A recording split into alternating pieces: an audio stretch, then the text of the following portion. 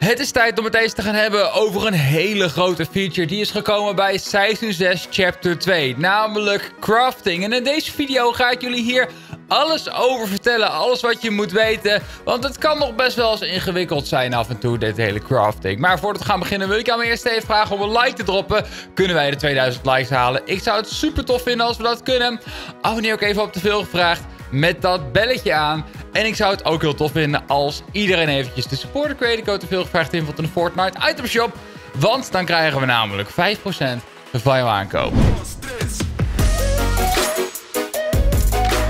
Ja, we gaan het dus hebben over crafting en wat je daar nou precies mee kan en hoe je bepaalde dingen moet doen. Dus weet je wat, laten we gewoon meteen beginnen met de video. En we zijn hier ook in Battle Lab, want hier ga ik jullie alles laten zien. En we gaan het dan ook hebben over wat je allemaal kan maken en hoe je dat dan moet doen. Ik heb het ook al een beetje voorbereid, want ik heb hier al een aantal wapens. Of eigenlijk alle wapens die je kan craften, die heb ik nu in mijn inventory.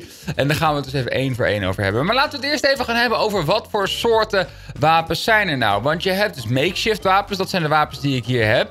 Dit zijn allemaal makeshift wapens. Zoals hier de makeshift shotgun, de makeshift rifle. En noem maar op. En deze wapens zijn eigenlijk heel erg slecht. Daar kan ik heel kort over zijn. Gebruik deze wapens zo min mogelijk. Omdat ze gewoon niet...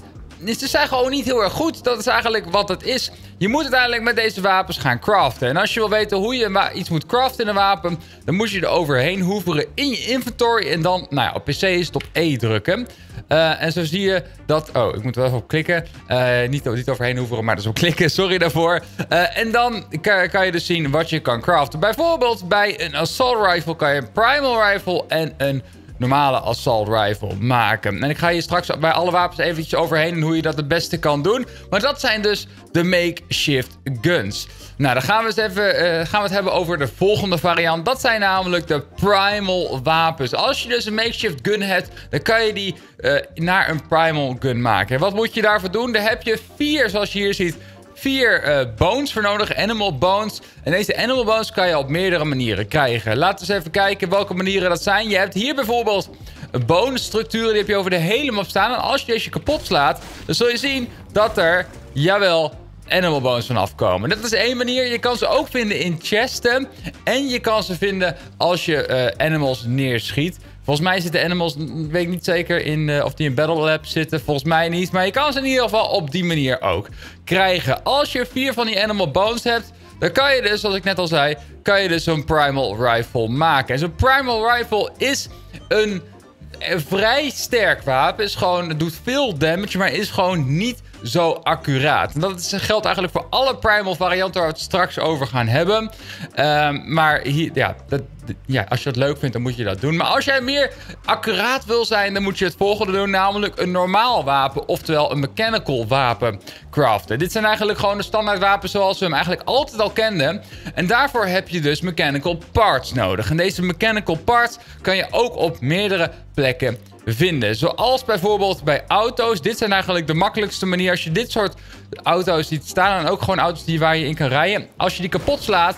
Dan krijg je 1 à 2 mechanical parts. In dit geval krijg ik er eentje. En met deze mechanical parts kan je dus uh, die dingen krijgen. Uh, je kan het volgens mij ook doen bij andere uh, grote... Nou ja, de structuur of hoe noem je dingen? Grote dingen, grote machines. Dat is het woord wat ik zocht. Daar kan je ze ook wel vinden, maar over het algemeen zou ik ze gewoon bij vehicles gaan zoeken. Ook boten kan je kapot slaan. Daar werkt het ook bij. En dat zijn dus de makkelijkste manieren uh, om dus aan die mechanical, wapen, of aan die mechanical parts te komen.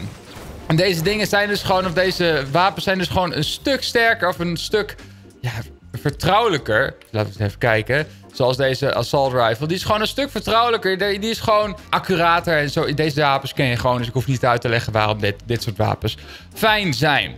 Nou, dan heb ik nog even een klein regeltje die bij crafting hoort. Je kan namelijk, en dat zul je straks misschien ook wel zien... Uh, als je eenmaal één wapen in je inventory gecraft hebt... dan kan je er niks meer mee. Dus stel, wij willen uh, dit wapen gaan craften. Stel, we willen nu een normale assault rifle. Prima, gaan we dat doen. Dan klik je erop, niet onmoeilijk. Ik denk dat het vrij vanzelfsprekend is. En jawel, we hebben een normale assault rifle. En uh, als het goed is, kunnen we nu niet meer... En dat zeg ik nou wel, maar volgens mij kan het dan wel. Oké, als dit... als ik nou opeens wel kan craften... dan vind ik dat heel raar, want ik heb het net van tevoren uitgezocht. Het kan het zo zijn dat je niet twee mechanical wapens kunt hebben... en maar wel een één mechanical en één primal wapen. Dus laten we het even kort checken. Dus ik ga even wat materials verzamelen en dan ben ik zo bij jullie terug. Volgens mij weet ik al wat het is. Je kan wel meerdere mechanical wapens hebben. Of in ieder geval meerdere normale wapens. Maar volgens mij niet meerdere primal wapens. We gaan er zo eventjes achter komen. Dan ga ik ze ook echt craften. Maar laten we eerst eventjes gaan kijken naar...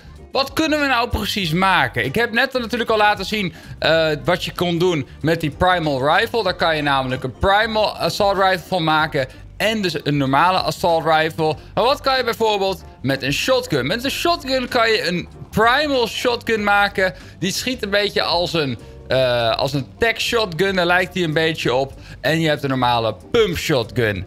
Uh, ik zelf eh, vind de pump shotgun fijner. Maar stel jij wil gewoon niet zoveel mikken. En je wil gewoon rachen. Dan kan je het beste voor deze primal shotgun gaan. Gaan we door naar de primal... Uh, oh, moet ik even klikken. De primal SMG. Of de primal submachine gun heet die eigenlijk. Daar, of de normale, de makeshift. Ik haal dingen door elkaar heen. De makeshift submachine gun. Daar kan je een primal SMG mee maken. Uh, die schiet dus weer heel wild. Doet wel veel damage. Maar daar blijft het bij. Maar je kan ook een normale submachine gun maken op deze manier. Dan gaan we door naar de, uh, naar de makeshift revolver. Het is geen pistol, maar echt een revolver. Dus hij doet veel damage over het algemeen. En dan kan je dus een primal pistol mee maken of een normale revolver. Dus ligt een beetje aan wat jij het, uh, het vetst vindt. Uh, ik zou zelf voor de primal pistol gaan in dit geval. Gewoon puur omdat die...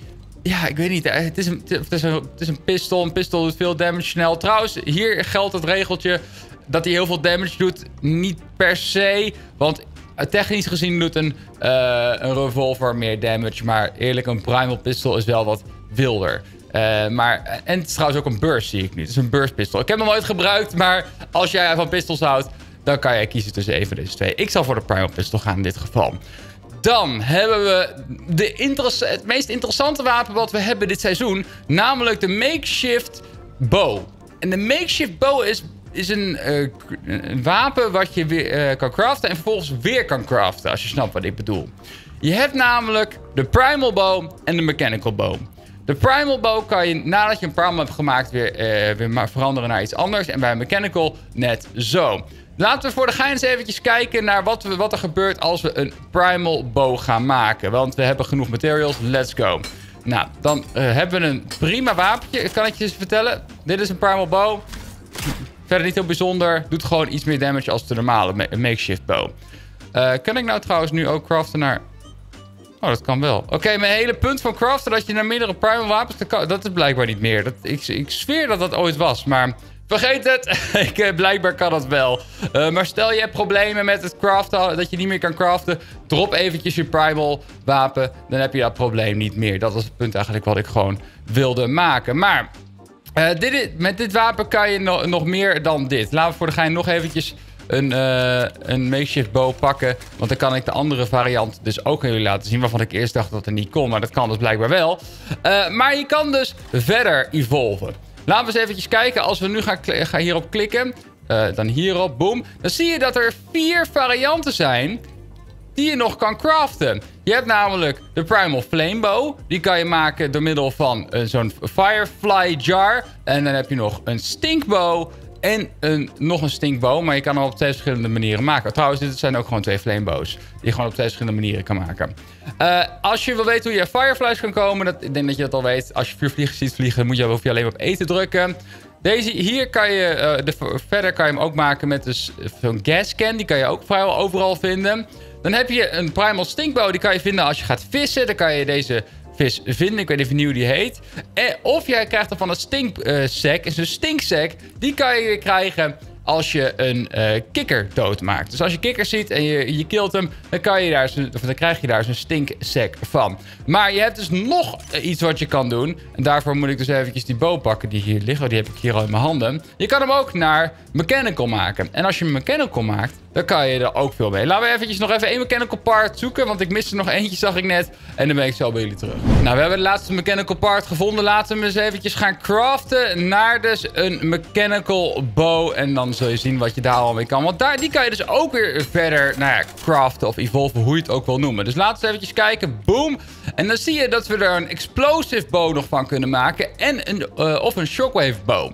Voor een explosive bow heb je 6 grenades nodig. En voor een shockwave bow heb je twee van die shockwave grenades nodig. Het is, het is vrij simpel. Wat deze twee dingen trouwens doen is een explosive bow... die uh, zorgt ervoor dat je een soort van boombow hebt... voor de mensen die dat nog kennen. En als je een shockwave bow hebt... dan schiet je mensen een soort van nou, gewoon weg. En als je dus een flamebow hebt, zet je dingen in de fik. En als je een stinkbow hebt, dan komt er een soort van stink effect. Als ik moet kiezen tussen een van deze bowsoorten, dan ga ik altijd voor of de stinkbow... Of ik ga voor de Explosive Bow. Want de Explosive Bow is gewoon heel erg sterk. Voornamelijk in Team Rumble. Nou, dit waren alle dingen die je dus kan doen op dit moment aan uh, crafting in Fortnite. Voor zover ik weet. Als ik wat gemist heb, laten weten in de reacties. Maar ik hoop dat er in de toekomst nog een paar dingen gaan komen. En ik heb er een paar opgeschreven. De eerste is, ik hoop dat er een trap komt. Een makeshift trap. Waarbij je dus bijvoorbeeld een spiky trap kan maken. Of bijvoorbeeld een uh, bouncer. Dat je, daar, dat je daar een bouncer van kan maken. En dat soort dingen. Of is het misschien is leuk om een makeshift sniper te maken. Dus dat je een sniper standaard krijgt. En dat je die kan veranderen in weet ik veel, een, uh, een heavy sniper of een normale sniper of zo'n semi-auto sniper. Lijkt mij heel erg dope. Of misschien is het wel leuk om makeshift materials te krijgen. Maar dat ligt een beetje aan of Fortnite dat überhaupt wil met, met die mechanics wat dingen doen. Dat is natuurlijk altijd gevaarlijk met bouwen en zo. Maar in ieder geval, dat zijn dingen die nog kunnen gaan komen in de, in de toekomst. Maar dit was alles wat ik te vertellen had. Ik hoop dat jullie het heel erg tof vonden. Als je het vonden, drop even een like en abonneer op de veel. Vraag een belletje aan. Klik op de video zometeen in beeld. En dan zou ik zeggen tot de volgende keer. En peace out. Doei!